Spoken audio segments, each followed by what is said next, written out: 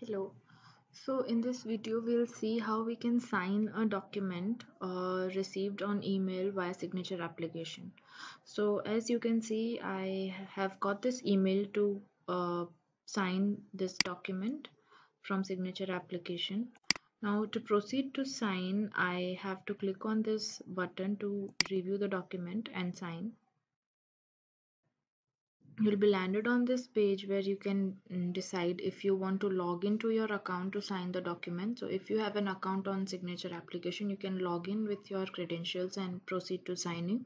Or if you don't have an account uh, on the application you can just simply continue as a guest to uh, complete signing on the document. Also you can see the document details on this page now you will get an OTP on your email address as a guest or if you are a verified user you will get it on your both email ID as well as mobile number. So I'll just uh, add the um, provide the OTP to proceed to signing the document. Now once the OTP is authenticated uh, you will be taken on the details page where uh, you can see all the document details okay. So you can see the uh, document details due date who all are the signers and observers on the document document history and other details related to the document. You need to click on proceed to sign for uh, providing your signature on the document. Alright so here you can uh, review the document and you can see where on what page your signatures are required. This this flag indicates that a signature is required on this page. You need to click on this particular uh, control to move to the page where your signature is required. Okay uh, now you need to click on the placeholder to provide your signatures.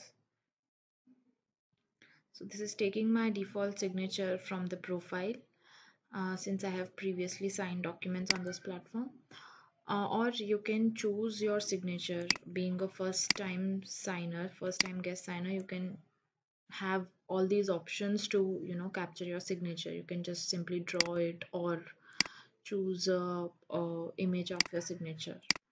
Or you can simply uh, select from the fonts. So I'll just use this draw option and provide my signature on the document Alternatively, you can also reassign the document if you think you are not the correct person to sign the document. So uh, let me show these options as well.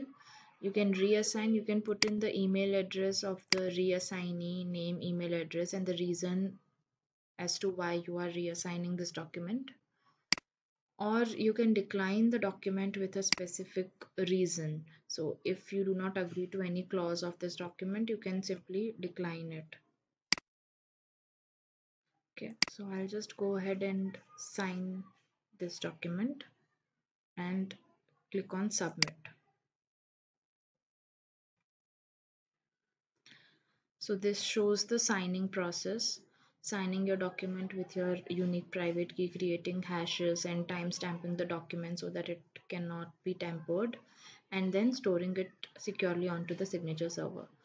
click on continue.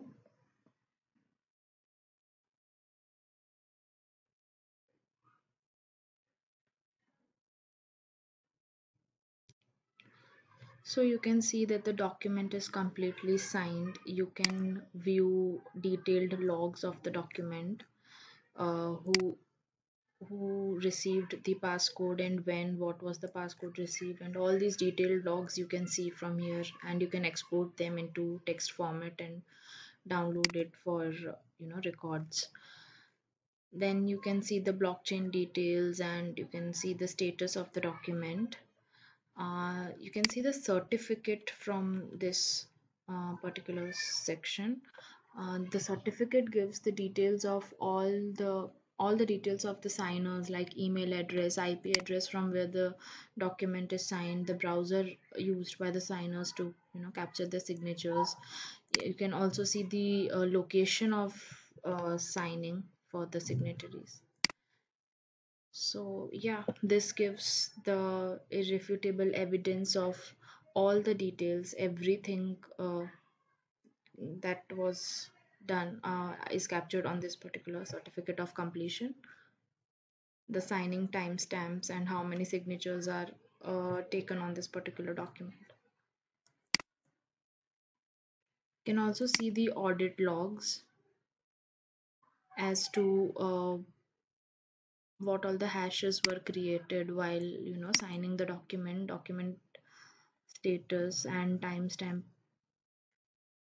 You can also you know export it in the pdf format and store it for your records. So that's it uh, pretty much simple on how you can sign the document on the Cygnature application. Thanks